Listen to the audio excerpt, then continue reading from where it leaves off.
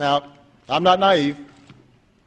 I never thought that the mere fact of my election would usher in peace and harmony and some post partisan era. I truly believe that the day I'm inaugurated, uh, not only does the country look at itself differently, but the world looks at America differently. Uh, that uh, I represent a clean break from the Bush Cheney approach. This was the moment when the rise of the oceans began to slow and our planet began to heal. That's why we've excluded lobbyists from policy-making jobs or seats on federal boards and commissions. Thank you, President-elect Obama, for the honor that you have bestowed upon me. I look forward to working with you and the members of this national security team assembled here.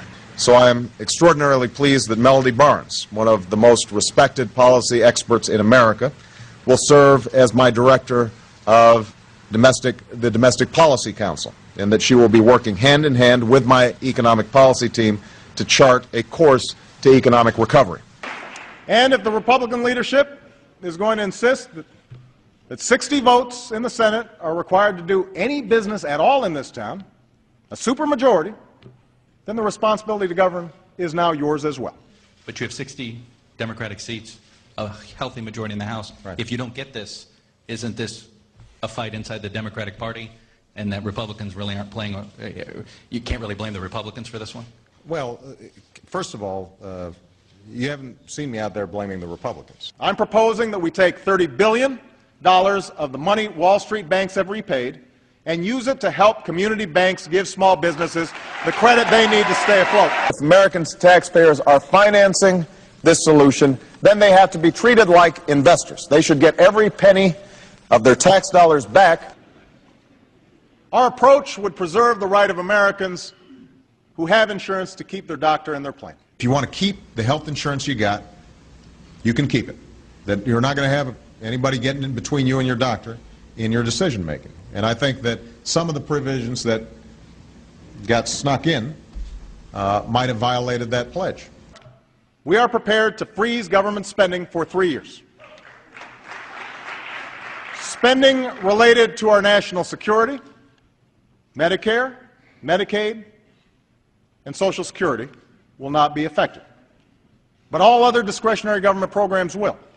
This is not a spending freeze um, across the board where every single program would be cut, and I think there's been some confusion about that. For example, education, the Department of Education budget actually goes up by 6% in the budget. And that's why I'm calling for a new jobs bill tonight.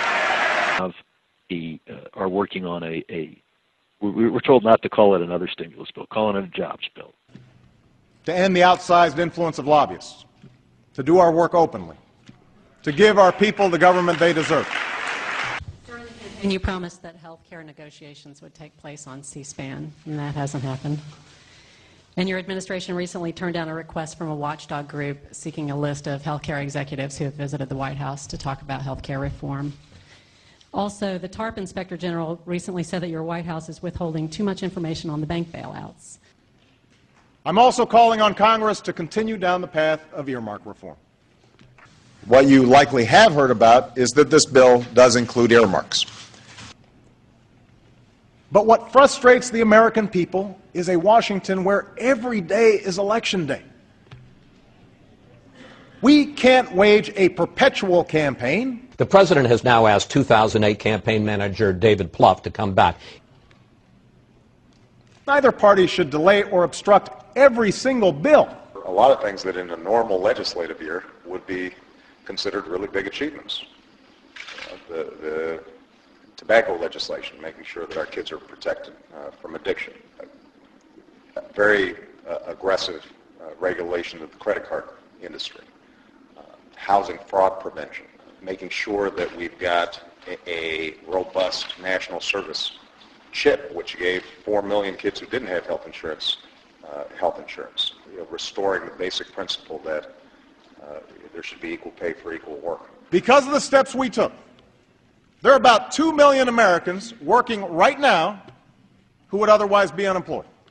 The Recovery Act saved thousands and thousands of jobs. Now, the Recovery Act the President uh, uh, passed uh, has created more than, uh, uh, or saved more than 2 million jobs. largely as a result of the recovery plan that's put money back into our economy, that saved or created uh, a million and a half jobs. You didn't have jobs.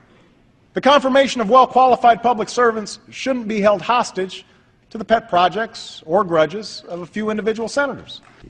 There is no doubt in my mind, in Senator Schumer's mind, in Senator Lieberman's mind, that the president could easily find 10 conservative Republican judges who would meet the 60 vote threshold. So no, I will not give up on trying to change the tone of our politics. I love Tony Blair. I met with him before he came. One of my favorite guys, but he can't be our only ally in the world. You know, that, that's like a, that's a pretty big burden for Brother Blair to have to shoulder. I can only imagine the conversations he's having with the rest of the European Union every day. God, what's up with you and Bush? And he's got to he's got to explain, you know, well, you know, you know, it, it's it's like having the having the uh, sort of the uncle, crazy uncle that you you, you don't really want to talk about. Keeps on coming out. Sadly, some of the unity we felt after 9-11 has dissipated. And we can argue all we want about who's to blame for this, but I'm not interested in relitigating the past. And what has been missing is uh, a, a, a president and a White House that taps into that yearning uh, in a serious way. Rather than tell the American people to shop, what I would have done uh, is to say, uh, now is the time for us to meet some great challenges. We've been tested, uh, and yet we have survived, and we are going to be stronger than we were. Each time lobbyists game the system or politicians tear each other down instead of lifting this country up, we lose faith. Democrats are an opinionated bunch. You know, the other side, they just kind of sometimes do what they're told. We face a deficit of trust, deep and corrosive doubts about how Washington works.